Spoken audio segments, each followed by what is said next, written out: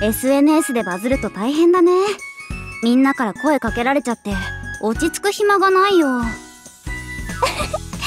それだけ沙織の愛してるが聞いたってことだよ。ほんとノリと勢いで言うんじゃなかった。さすがに恥ずかしいよ。じゃあ克服してみようよ。克服？どうやって？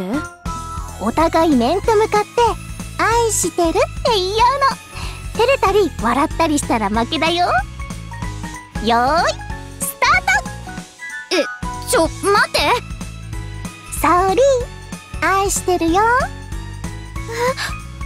ああしてる。